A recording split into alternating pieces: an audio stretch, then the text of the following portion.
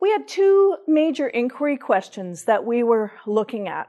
One was, how can we help shift our students' perspective from despair and powerlessness to a sense of hope and empowerment?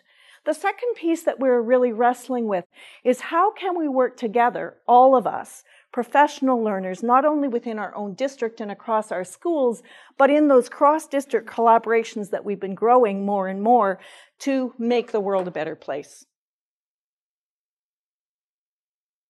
Uh, Judy Halbert and Linda Kaser were a part of our August Pro D Days, and they've been working with our district on building a culture of inquiry, uh, teacher inquiry, both in terms of Aboriginal education projects, network of innovation and inquiry, and our own district collaborative inquiry projects. So we decided that we wanted to really live that cross district um, and and those partnership pieces.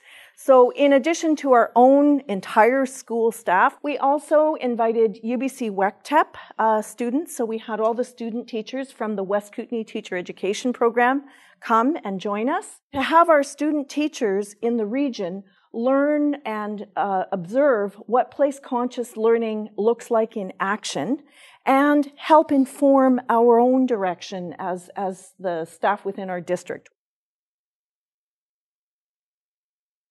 We also really featured uh, cross school collaborations within our own district course, in our district, we have uh, a small number of schools, so that kind of cross-school collaboration is easy because everybody wants to jump on board and work together.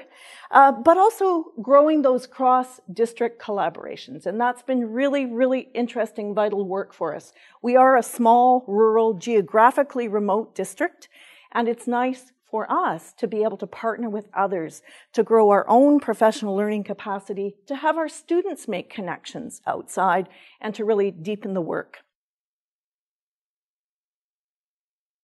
In all, there were 26 classrooms across, across BC, K to 12, because the feedback from our May pilot had been not only could we do this from grade 4 to grade 12, we could select text that was engaging, authentic, and relevant, actually kindergarten to grade 12. And good text was good text. Grade 12s could look at picture books that were deep and thoughtful and find those essential pieces. Um, students who were kindergarten students could find ways of expressing and demonstrating their learning in both classroom discussions and in uh, posting to forums in some kind of way. And so in all, 450 students were involved with that. We used um, Laura Tait uh, SD68's Aboriginal Understandings rubric to be able, that learning progression, to be able to see where students were at the beginning of their, um, their work in this progress, and then also uh, assess where it is that they ended up.